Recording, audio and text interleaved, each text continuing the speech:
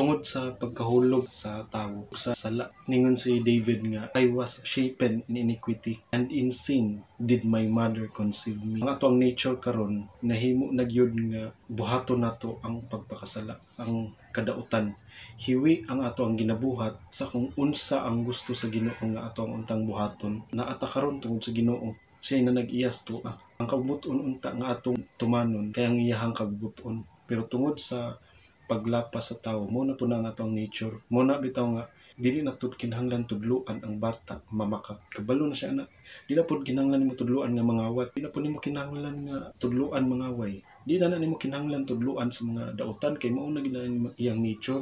Mabitaw na nga imong itudlo kay puro mga unsay maayo nga buhaton. Mo na ni problema kung itudlo na to kung unsa ang gusto sa Dios grabe gyud ka lisod. Mabitaw na sa ato bisan sa atong kagalingon maglisod ug apply sa mga butang nga ato ang mak- makatunan bahin sa unsay kabubuton sa Dios. Mo na gikinahanglan sa Romans 12:1 ug 2 si Paul giningon siya I beseech you therefore brethren by the mercies of God that ye present your bodies a living sacrifice holy acceptable unto God which is your reasonable service. Ningon pa din siya sa verse 2 and be not conformed to this world, but be transformed by the renewing of your mind, that ye may prove what is that good and acceptable and perfect will of God.